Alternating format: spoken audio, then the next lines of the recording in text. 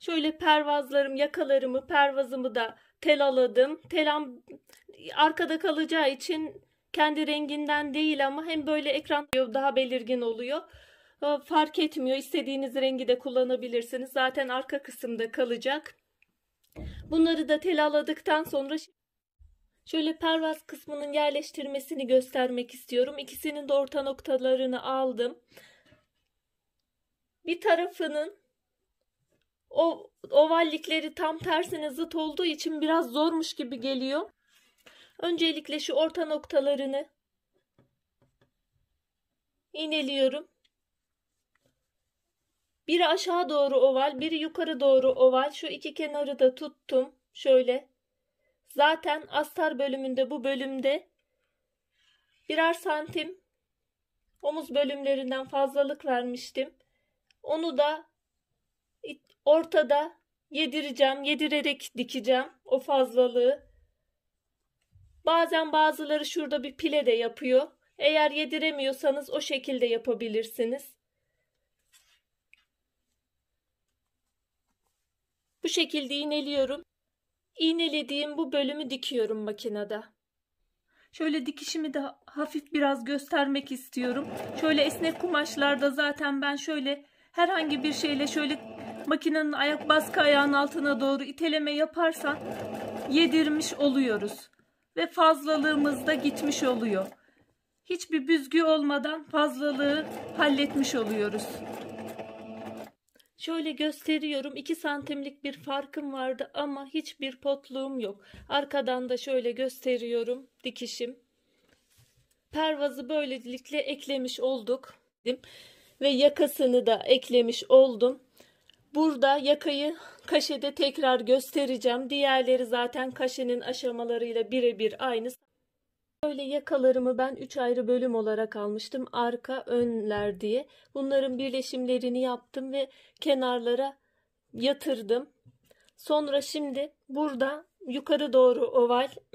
Burada yapacağımız için ise tam tersi şu orta bölümü almamız artık gerek yok. Dikişi dikişe getirerek yapacağız.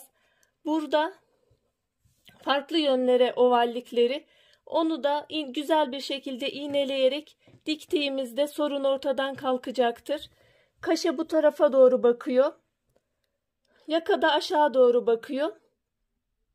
O yüzden zormuş gibi gözüküyor ama o kadar da zor değil. Şöyle dikişi dikişe getiriyorum.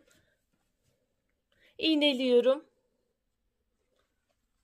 Burada da dikiş dikişe gelecek.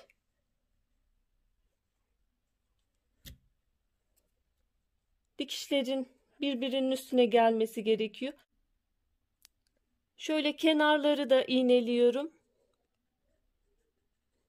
Burada açıklık bölümü benim. Üst üste bir kapama, önde üst üste kapama bölümünde benim yaka olmayacak. Orası açık kalacak. Şurada 3 santimlik 4 santime yakın bir bölümüm var. Şöyle iğnelediğim bölümleri dikiyoruz makinede. Şöyle iğneledim ve şimdi de dikiyorum. Şöyle diktim yakamı ekledim ben. Şuralarını açmıştım. Şimdi yakalarımı açtıktan sonra kabanımda da yüz yüzüne bakacak şekilde yerleştiriyoruz.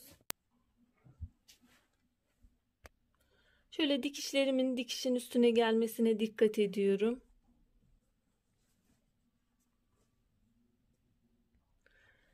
Yakayı iğneledim.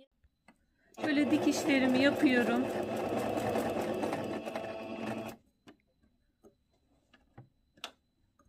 İğnem takılı.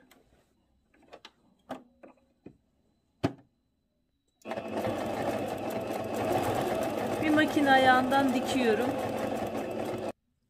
Yaka dikişlerimi bitirdikten sonra şu kısımlara şöyle üçgen şeklinde kesiyorum rahat dönebilmesi için.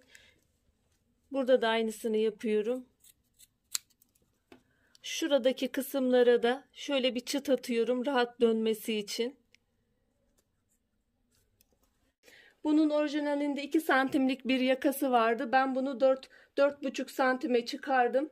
Eğer başörtü tesettürlüyseniz, örtü kullanıyorsanız yakaları 1 santimde kabanın yakasını yukarı tuttum.